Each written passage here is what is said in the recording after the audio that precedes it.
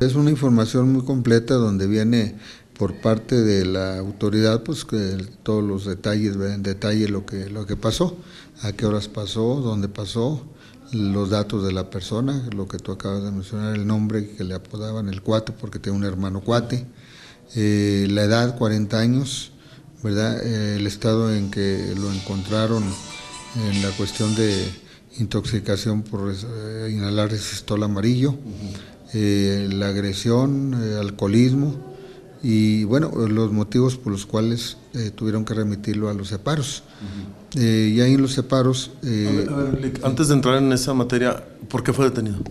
Bueno, fue detenido los argumentos que mencionan en el informe por agresión física a una persona que vende hamburguesas, por querer agredir a otra persona también que le pidió o a las personas que acudían al negocio que les pidió dinero, ahí hablan de 10 pesos, eh, y por el estado en que andaba.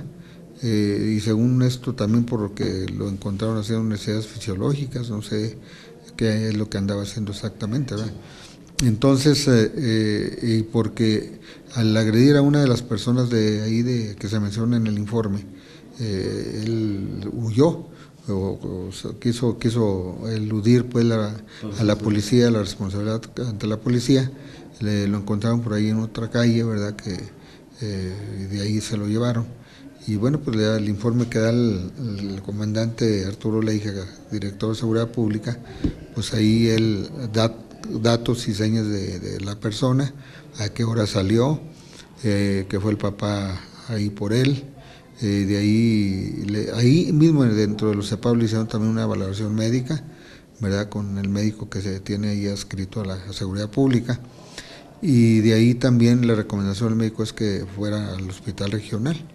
Eh, y lo llevaron al hospital regional, pero no fue necesario hospitalización, nada más le hicieron una valoración y le dieron medicamento. Bien. Eh, el padre dice, bueno, pues yo no, estoy seguro de que lo hayan golpeado y que por consecuencia de eso, porque por consecuencia de los golpes falleció, así dice la necropsia. Eh, de ser así, como quiera que sea, independientemente del informe que le entrega el comandante la hija, al interior pudiera suscitarse una investigación a fondo. Bueno, digo, yo pienso que sí, porque eh, esto no es un caso menor. Es un caso que necesita, pues que se, por un lado, por parte de, en este caso, el director, pues hacer más, dar más detalles, ¿verdad? Eh, tú acabas de mencionar, tenemos una cámara ahí de, eh, de circuito cerrado, ¿verdad? Pues que habría que verla también. Yo eh, voy a hacer que el comandante le hija la, nos la muestre o nos dé más detalles para, para que no haya lugar a dudas, ¿verdad? Porque es lo que menos queremos nosotros, que quede la duda de si hubo agresión por parte de, de algún elemento de la policía o no porque eh, en el informe que nos dan comentan que, tuvo un altercado con alguien en la colonia Francisco Goitia o en la Benito Juárez. Y que ahí se y, que ahí, fue donde se tuvo ese golpe que aparece. Incluso antes de detención, así lo manifiestan las fotos, trae un golpe en el labio inferior de su boca. Sí, así es, ahí tuviste las fotografías, trae ese golpe que, que pues, rojo nada más, o sea, no se ve hinchado. Es un hematoma. Es un hematoma nada más, ¿verdad? Entonces yo no creo que eso sea, sea pues algo que pudiera haber puesto en riesgo la, vida de él, ¿verdad?